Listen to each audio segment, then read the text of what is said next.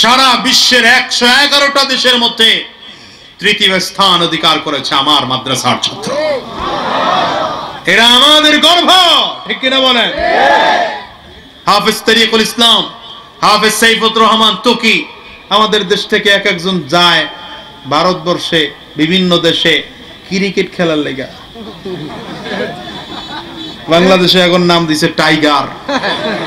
কি গা না কি নাম দিছে? একেবারে দেখবেন যখন এয়ারপোর্ট থেকে যায়, সব টাইগার।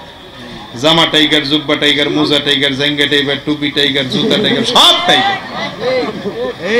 যায় তো টাইগার হইয়া, ফিরে কি হইয়া? আমি কিন্তু কই না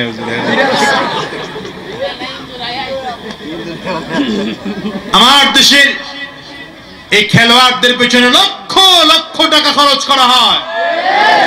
আমি তো বলি, আমার দেশের সরকার যেই পরিমাণ টাকা খেলোয়াড়দের পেছনে খরচ করে, তার এক ভাগের এক ভাগ টাকা যদি কোরআনের হাফেজদের পেছনে খরচ করা হতো, কোরআনের পাখিদের পেছনে খরচ করা হতো, আগামী দশ বছরের মধ্যে বাংলাদেশ কোরআনের দেশ হিসেবে পরিচিত হতো, ঠিক কিনা? কিন্তু আপনারা করবেন না তো। আপনারা তো কোরআনই রাখবেন না দেশে। ইসলামের নাম নিশানাই থাকবে না। কয় না? একদল আছে না নাই? জোরে বলেন। আপনি হাজারো চেষ্টা করলে লাভ নাই। আপনি ইসলামের নাম নিশানা রাখবেন না। আল্লাহ তোর নাম নিশানাই থাকবে। কাঠটা চলবে। আঙ্গুলটা উঁচা করে জোরে বলেন। হাফিজে কোরআনের কাছে গিয়ে বলেন, আপনার মাদ্রাসার এমন একজন ছাত্র দেন যেই ছাত্র বিনা লোকমায় পুরো কোরআন শোনাতে পারবে। হুজুর খুব চালাক মানুষ। মাসুম এক বাচ্চা দিছে, এমন এক বাচ্চা যে এখনও বালেক হয় নাই। নিষ্পাপ বাচ্চার, আল্লাহ আকবার। এখন তো হেফসখানা মাদ্রাসার বিরুদ্ধে কথা বলা শুরু হয়েছে কথা বলেন না কেন? মাহফিলের মঞ্চ থেকে হেফসখানার বিরুদ্ধে কথা বলা হয়। শোনো শোনো বাংলাদেশ। বাংলাদেশে যেই পরিমাণ গুনাহ হয়, এখনও বাংলাদেশটা টিকে আছে এই ছোট ছোট মাসুম বাচ্চাদের কোরআন তেলাওয়াতের বরকতে। বিগত কয়েক বছর আগে এই ফজরের নামাজের কিছুক্ষণ আগ মুহূর্তে, অর্থাৎ তাহাজ্জুদের টাইমের কাছাকাছি ভূমিকম্প হয়েছিল। আপনাদের মনে আছে? এরপরে বৈজ্ঞানিকরা বলেছে, যেই পরিমাণে ভূমিকম্প হয়েছে তাতে এদেশে কোটি কোটি মানুষের ক্ষতি হয়ে যাওয়া দরকার। লক্ষ বিল্ডিং ঢাকা শহর ধ্বংস হয়ে যাওয়া উচিত ছিল, কিন্তু কিছু হয় নাই। কারণ কি? বৈজ্ঞানিকরা অনেক কিছু বলে, রড কোম্পানির রডের বিজ্ঞাপন বেড়ে গেল। আমি চিন্তা করে দেখলাম, কোনো কারণ না। আমার কাছে মনে হয় কারণ তো এটা আল্লাহর মাসুম বান্দাগুলো, মাসুম বাচ্চাগুলো কোরআনুল করিম খুলে ওই টাইমে মাদ্রাসায় বসে বসে আল্লাহর কালাম পড়তেছিল। কেউ তো নামাজে দাঁড়িয়ে দাঁড়িয়ে আল্লাহর কালাম পড়েছিল। আমার কাছে কেন যেন মনে হয় আল্লাহ তাআলা এই কারণে পুরো দেশকে হেফাজত করেছে। মাদ্রাসার বিরুদ্ধে বলো, তাও আলেম হইয়া নিজের নামে আলেম লাগায়া কওমি মাদ্রাসার বিরুদ্ধে বলো। নিজের নামে আলেম লাগায় হেফসখানা মাদ্রাসার বিরুদ্ধে বলো, কপাল পুরলে যা হয়। ঠিক কিনা বলো? আগেকার মতো শাসন এখন নাই, এ কারণে আগের মতো শেখ নানু তুমিও তৈরি হয় না। কথা বলেন না কেন? আগেকার মতো সেই দিল্লি শাহী মসজিদের মুহাদ্দিস আব্দুল কুদ্দুস, মুহাদ্দিস দেহলভি তৈরি হয় না। শাহওয়ালিউল্লাহ মুহাদ্দিস দেহলভি তৈরি হয় না। আশরাফ আলী থানভী তৈরি হয় না। এখন সব ব্যক্ত রাখা যাবে না, পিটাবেন না, ঠিক আছে, ভালো কথা পিঠানো যাবে না, শরিয়া তো এটা পারমিট করে না, তাই বলে একেবারে এত এত আদর করে পড়ালে, তাহলে এদেশের সন্তান আলেম হবে না। আপনারা একমত হন কিনা জানি না, একটু টুকটাক শাসন লাগবেই, কথা বলেন না শাসন আর শোষণ এক নয়। শাসন আর শোষণকে যদি আপনি এক মনে করেন, তাহলে ভুল করবেন। শাসন হচ্ছে সন্তানের চরিত্র গঠন করার জন্য। সেজন্য একটু রাগ দিতে হবে, বুঝাতে হবে, মাঝে মাঝে মাথা মুছাতে হবে, মাঝে মাঝে পিঠে হাত দিতে হবে।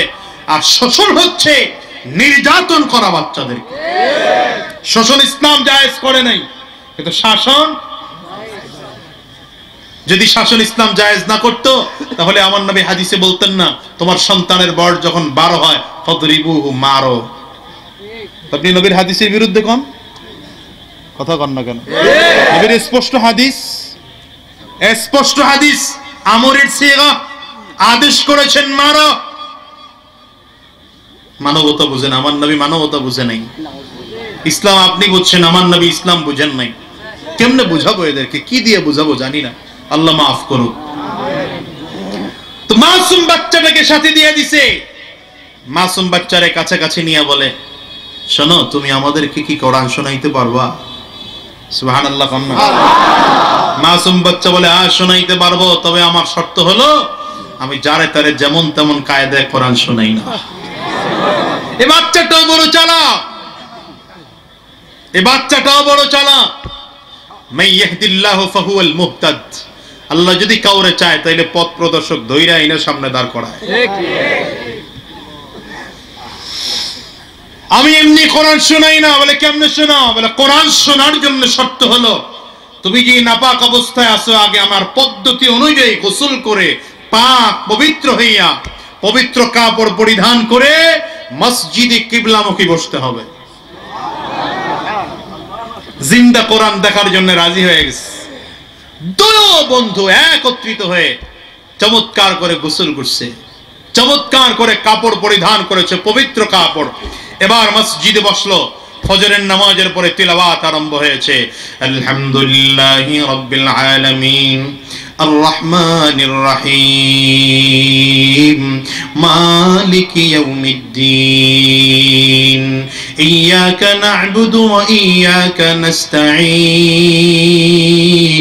اهدنا الصراط المستقيم. صراط الذين أنعمت عليهم غير المغضوب عليهم ولا الضالين.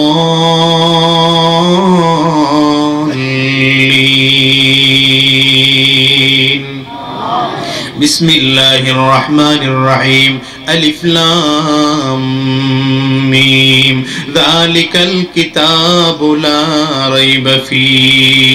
চমৎকার কণ্ঠে মাজুম বাচ্চা তিলাওয়াত করতে আরম্ভ করেছেন। এক পাড়া, দুই পাড়া, তিন পাড়া, চার পাড়া, পাঁচ পাড়া করে তিলাওয়াত শেষ হয়ে যায়। তিলাওয়াত চলতেছে মধুর কণ্ঠের তিলাওয়াত। যেমন তার কণ্ঠ, তেমন তার জীবনে কোনো গুণা নাই। মাসুম বাচ্চা তিলাওয়াতের মধ্যে আলাদা একটা মজা। চমৎকার কণ্ঠে বাচ্চা তিলাওয়াত করতেছে। তেলাওয়াত করতে করতে যখন পনেরো পারা তেলাওয়াত শেষ হলো, জুহুরের আজাম দিল মসজিদের মধ্যে। মসজিদে জুহুরের আজাম দিলে বাচ্চা বলে, ভাই, বাকি যতটুকু বাকি আছে, আমি তিলাওয়াত শোনাবো। তবে মাঝখানে আমি একটু জোহরের নামাজের বিরতি চাই। হালকা করে অজু করব, ইস্তেঞ্জা করব।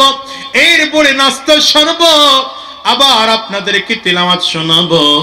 নামাজের টাইম হয়ে গেলে মুসলমান বন্ধুটাও হাফিজে কোরআনের সাথে দাঁড়ায় দাঁড়ায় নামাজ পড়েছে।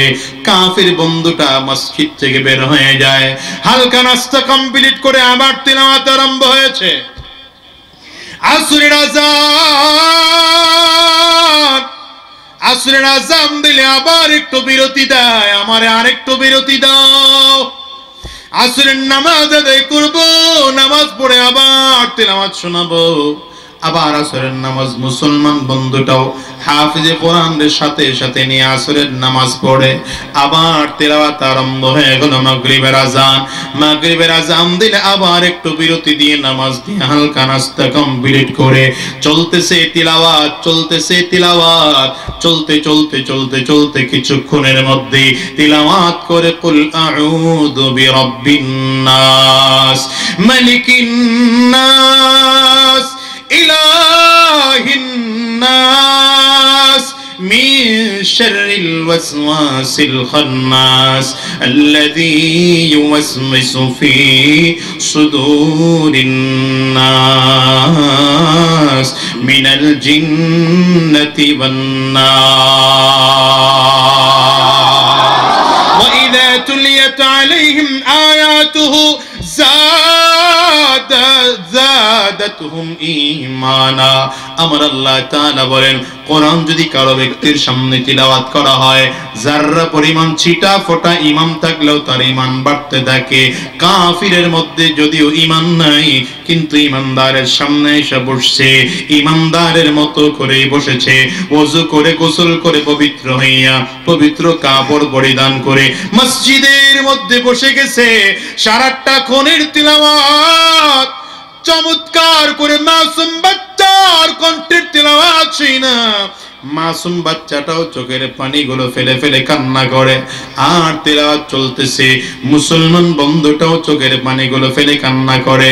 আর তেলাওয়াত শুনতেছে। এদিকে কাফির বন্ধুটার চোখ দিয়েও গাল বে বে বে বে পানিগুলো পড়ে। তেলাওয়াত করতে করতে যখন তেলাওয়াত শেষ হয়ে গেছে হঠাৎ করে শোনা যায়, ঈশার নামাজের আজান চলতেছে। ঈশার নামাজের আজান দিলে মুসলমান বন্ধুটা বলে, বন্ধুরে, একটু মসজিদ থেকে বের হও, আমরা ঈশার নামাজ পড়ব।